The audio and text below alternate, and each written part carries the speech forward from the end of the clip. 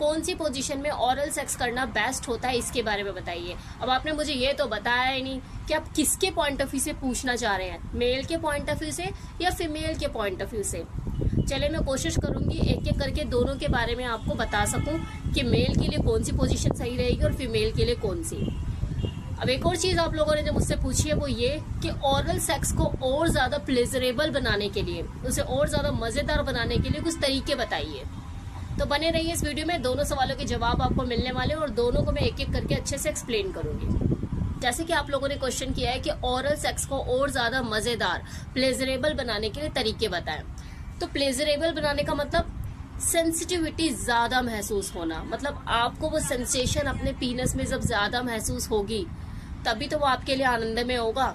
तो वो सेंसिटिविटी महसूस कराने के तरीके होते हैं। अभी आपकी जो फीमेल पार्टनर है, वो कैसे करती है आपको औरल एक नॉर्मल सा तरीका कि हाँ पैंट आपके नीचे उतारी या जिप खोली या वट एवर जो आप फोर प्ले कर रहे हैं तो आपके पीनस को सक करना शुरू कर दिया। लेकिन अगर आपको सेंसिटिविटी ज़्यादा महसूस करनी है, उसे आनंद में बनाना है तो आप उसमें और भी चीज़ों को एड ऑन कर सकते हो लाइक आप आइसक्रीम या लिक्विड चॉकलेट लगाकर भी सक कर सकते हो। इससे क्या होगा, आपके पीनस के टॉप पर आपको सेंसिटिविटी ज़्यादा महसूस होगी और आपकी जो फीमेल पार्टनर है, उसके लिए भी एक नया एक्सपीरियंस होगा कि वो कुछ टेस्टी फुल बनाकर उस चीज़ को सक कर रही है, उसमें टेस्ट एनहेंस कर रही है फ्लेवर है, उसे ऐसे लगेगा जैसे वो चॉकलेट खा रही है या चॉकलेट को चाट रही है। बिल्कुल बच्चे की तरह आपको लिक्विड चॉकलेट या आइसक्रीम जो भी जो आपकी पसंदीदा आइसक्रीम है, उसे लगा के आपको उस पीनस को पूरी तरह से चाट जाना है टॉप से लेके नीचे तक। अब वो आपकी कलाकारी आप कैसे चाटती हैं?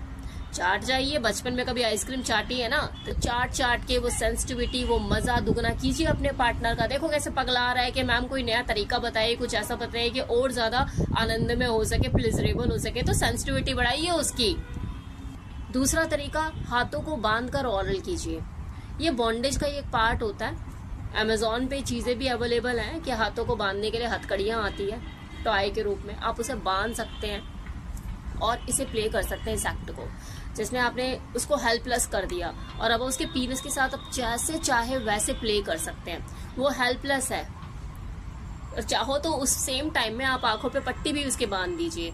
उसे पता ही नहीं लगेगा अब उसके साथ क्या होने वाला, आप क्या करने वाले हो। आप चाहो तो पूरी बॉडी के साथ उसके फोर प्ले कर सकते हो, या फिर उसके पीनस को ही सहला सकते हो किस कर सकते हो, चूम सकते हो, उसकी सेंसिटिविटी को बढ़ा सकते हो, उसकी एक्साइटमेंट का लेवल बढ़ा सकते हो। पागल हो जाएगा, अगला बता रही हूँ मैं आपको। ये चीज़ें करके देखिए, ये नए नए एक्सपेरिमेंट है एक्साइटमेंट के लेवल को बढ़ाने के। और आपका पार्टनर आपसे यही मांग रहा है जी कि सेंसिटिविटी को कैसे बढ़ाएँ प्लेजर को और दुगना कैसे करें। तो ये सब चीज़ें आप एक्सपेरिमेंट छोटे छोटे कर सकते हैं अपने ऑरल सेक्स के दौरान। नाउ थर्ड पॉइंट ये ऑरल प्ले आपके पार्टनर का मूड एनहेंस करने, उसका मूड खराब हो गया तो उसका मूड बनाने। आपकी कोई बात उसे बुरी लग गई है और आप माहौल सेट करना चाहते हो तो उस वक्त भी ये जो ऑरल प्ले है, आपके लिए ज़बरदस्त तरकीब साबित हो सकता है। खासकर उन फीमेल के लिए कह रही हूँ जो बात बात पे झुकना पसंद नहीं करती। लेकिन ये झुकने का तरीका उनको सही लगता है। ये खासकर मैं उन फीमेल के लिए कह रही हूँ जो बात बात पर सॉरी मांगना पसंद नहीं करती, लेकिन हाँ अंदर उन्हें फील होता है कि हाँ मुझसे गलती तो हुई है। तो वो इस तरह से झुक कर उसको ये साबित कर सकते हैं, यार हाँ ठीक है, हुई है, मुझसे गलती हुई है। बोले ना, लेकिन ये उनके लिए बहुत आसान हो जाता है कि हाँ चलो मैंने उसको खुश किया। इसे ऑरल करके खुश कर सकते चलो ऑरल करने का अभी समय नहीं है, वो माहौल नहीं है तो डीप स्मूच करके उसका मूड बना सकती है। मूड बना मतलब ये नहीं कि आप बेड पे कूद जाओ मतलब उसका मूड ठीक कर सकती है। उसे भी अच्छा लगेगा कि यार, ठीक है, गलती दो मिनट के अंदर। कौन सी गलती? कैसी गलती? अच्छा गलती की थी? वो भी मनी मन सोचेगा, यार, ऐसी गलती रोज किया कर, कोई दिक्कत नहीं है मुझे। देखो, ये जो सेक्स है ना, आप इसे बस एक ही तरीके से सोचते हो कि हमें अपनी फ़िज़िकल रिक्वायरमेंट पूरी करनी है। इसका बहुत इंपॉर्टेंट रोल होता है आपकी छोटी छोटी डेली लाइफ की एक्टिविटी में भी। छोटी छोटी चीज़ें बहुत बहुत मायने रखती है और आपकी जो लाइफ है, सिर्फ़ सेक्स लाइफ नहीं, आपकी पर्सनल लाइफ को भी खुशियों से भर देती है। अब आपके दूसरे सवाल के ऊपर बात कर लेते हैं कि ऑरल में की जाने वाली सबसे बेस्ट पोजीशन तो देखिए, एक तो 69 पोजीशन है, जो सबको ही पता है। क्या होता है, उसमें दोनों ही मेल फीमेल पार्टनर एक दूसरे के अपोजिट डायरेक्शन लेट जाते हैं। और उनका प्राइवेट पार्ट उनके मुँह के एकदम सामने होता है और आप उसे सक करते हैं। एक तो ये पोजीशन हो गई। दूसरी पोजीशन कि एक मेल पार्टनर जो है, वो खड़ा हुआ है स्टैंडिंग पोजीशन में और उसका सामान भी खड़ा हुआ है। और जो उसकी फीमेल पार्टनर है, घुटनों के बल बैठ जाती है। ऐसे मेरे डॉगी नहीं बनती मतलब घुटनों के बल, या थोड़ा सा नीचे झुक के बैठ जाती है कंफर्ट पोजीशन में और मुँह में लेके उसे सक करती है। नाउ थर्ड पोजीशन के जो मेल पार्टनर है, वो चेयर पे बैठा हुआ है और जो फीमेल है, नीचे बैठी हुई है और उसको सक कर रही है।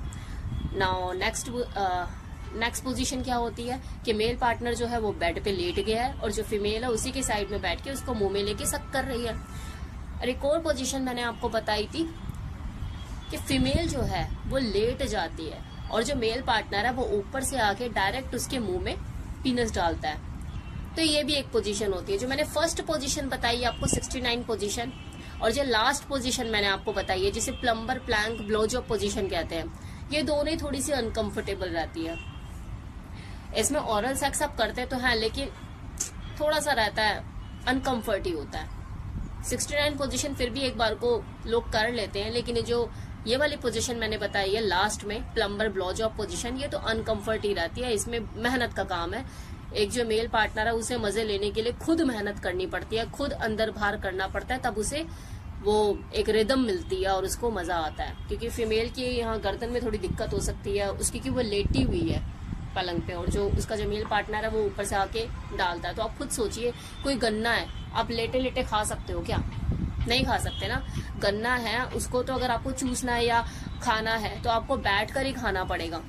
तो ये जो पोजीशन होती है कंफर्ट नहीं होती। और जो 69 पोजीशन है, ये किसी किसी के कंफर्ट जोन में आती है तो किसी किसी के कंफर्ट जोन में नहीं आती है। लेकिन बाकी की जो तीन पोजीशन है, जिसमें मेल पार्टनर खड़ा है फीमेल बैठी है, वो कुर्सी पर है फीमेल बैठी है, या फिर जो मेल है, वो लेटा हुआ है बेड पे और फीमेल बैठी हुई है। इन तीन पोजीशन में आपको जो बेस्ट लगती है, वो चूज़ कर लो और कर लो ओरल सेक्स तो ये तो पोजीशन है मेल के पॉइंट ऑफ़ व्यू से।